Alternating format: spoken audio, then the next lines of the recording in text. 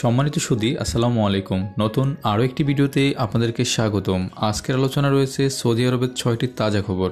পুরো ভিডিওটি দেখে বিস্তারিত জানানোর অনুরোধ রইল। নিত্য নতুন প্রবাসী নিউজ পেতে আমাদের সাথেই থাকুন। যদি ভিডিওটি ভালো লাগে, অবশ্যই লাইক করবেন। আর আপনি যদি আমার চ্যানেল নতুন হয়ে থাকেন, please hit the subscribe button করোনায় জমজমের পানি পানের পরামর্শ শায়েক সুদাইসির। জমজমের পানি পৃথিবীর সেরা বিশুদ্ধতম পানি। এক ফোঁটা জমজমের পানিতে যে পরিমাণ আকরিক পদার্থ থাকে তা পৃথিবীর অন্য কোনো পানিতে থাকে না এবং ঝমঝমের পানির গুণাগুণ, মান কখনো পরিবর্তন হয় না। অন্যদিকে সৌদিতে আরও পাঁচজনের মৃত্যু। একদিনে আক্রান্ত এগারোশো বত্রিশ জন। গত চব্বিশ ঘন্টায় দেশটিতে আরও এক হাজার একশো বত্রিশ জন করোনায় আক্রান্ত হয়েছে। সৌদি আরবের স্বাস্থ্য মন্ত্রণালয় থেকে এই তথ্য নিশ্চিত হওয়া গেছে। পাশাপাশি করোনা ভাইরাসের রোধে সৌদি আরব, রিয়াদ সহ অনেক প্রদেশ চব্বিশ ঘণ্টার কারফিউ চলছে। এ পর্যন্ত সৌদিতে করোনা ভাইরাসে আঠারো বাংলাদেশের মৃত্যু হয়েছে। এরই মাঝে ঘনিয়ে আসছে রমজানের বার্তা বার্তাবাহী মাস রমজান। সৌদি আরবে তেইশে এপ্রিল বৃহস্পতিবার রমজানের চাঁদ দেখা গেলে চব্বিশ তারিখ থেকে রমজান শুরু হবে।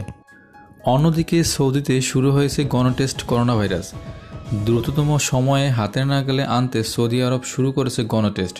যাদের কোনো উপসর্গ নেই তাদেরও পরীক্ষা করা হচ্ছে। সৌদির মন্ত্রণালয়ের মুখপাত্র ডক্টর মোহাম্মদ আল আবদ আল আমিন বলেন, আমরা দ্রুততম সময়ে করোনা দূর করতে চাই, তাই এইভাবে সবার পরীক্ষা করা হচ্ছে।